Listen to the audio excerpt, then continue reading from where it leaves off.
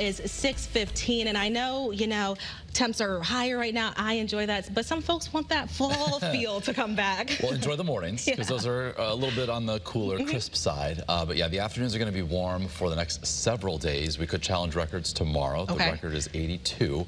Uh, and rain, that is something else we could use. And we do have a cold front that will bring temperatures back to reality by the end of the week. But in the meantime, it's not going to produce a lot of rain, so deficits will continue to grow. For the month, we're approaching two and a half inches for the Hartford area. And going back to the beginning of meteorological autumn, that's back to September 1st, 6.2 inches behind. And at one point for the year, we had a surplus of around nine and a half inches every day. And since then, we've been really uh, chipping away at that. So just a surplus of 1.37 inches so far since January 1st. So uh, again, chances for rain over the next seven days, very, very slim. Uh, temperatures compared to this time yesterday, a couple degrees milder for a few towns inland, uh, a couple degrees cooler elsewhere. So uh, not, you know, basically near where we were at this point yesterday. We've got 30s and 40s across Connecticut. Uh, so chilly start, a calm wind, a clear sky. But as the day progresses, as soon as the sun rises in less than an hour, those temperatures are going to respond pretty quickly. So 40 right now looking live from Waterbury toward the horizon. You can see some of that brightening to the sky uh, and checking out our view from Mystic as well. Uh, a quiet um, morning and looking downstream of the Connecticut River also you can see uh, not quite as dark as it was just 30 minutes ago. Uh, from Manchester we have 41 degrees. Jackie and Higganum reporting 42 but uh, 49.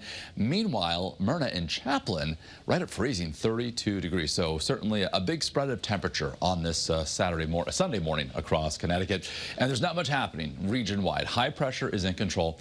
And that will be the case uh, for the next several days. So sunglasses, perhaps shorts and t-shirts. Uh, one of those situations where, again, we've got those cooler mornings where you may need that extra layer, but you can shed them during the afternoon, uh, given how warm temperatures are going. So low and mid 70s today inland and near 70 along the 95 corridor. And sunset today at 6.01.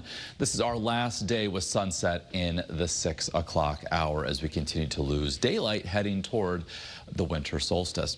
So certainly, uh, while it's not feeling like fall across Connecticut, certainly looking like it, we do have uh, uh, moderate uh, color, perhaps even reaching peak levels throughout the elevations there of northwestern Connecticut. So uh, you don't have to travel far to uh, see that nice show of color. In the realm of the tropics, we have Nadine that moved inland yesterday, but we're focused here now on Hurricane Oscar. this is the loop over the past six hours showing the progression westward, doing so at around 12 miles an hour.